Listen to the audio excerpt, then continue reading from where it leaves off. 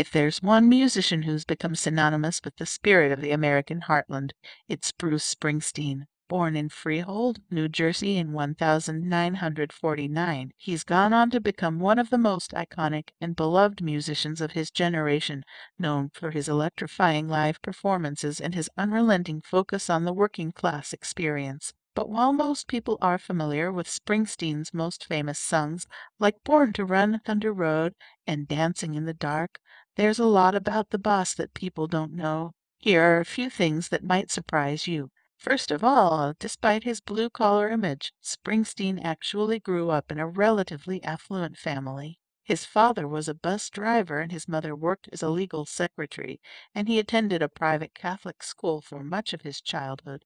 However, he's been open about the fact that he struggled with mental health issues from a young age, including depression and anxiety, and that he felt alienated from the privileged world he grew up in. Another thing that people might not realize about Springsteen is that he's always been deeply involved in politics and social activism. In the 1980s, he spoke out against the Reagan administration's policies and became an outspoken critic of the Vietnam War. More recently, he's been a vocal supporter of progressive causes like marriage equality and gun control. Despite his reputation as a rock and roll icon, Springsteen is also an accomplished writer.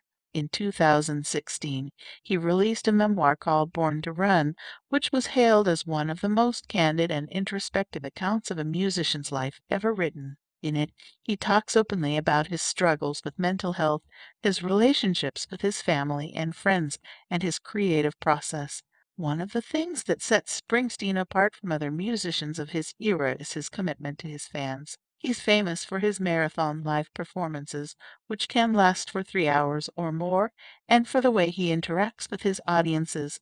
He's been known to invite fans up on stage to dance, take requests for songs, and even play entire albums from start to finish. Finally, it's worth noting that Springsteen is a true Renaissance man. In addition to his music and writing, he's also dabbled in acting, appearing in films like High Fidelity and The Wrestler. He's also a noted philanthropist, supporting organizations like the Parkinson's Foundation and the Bob Woodruff Foundation, which helps veterans and their families.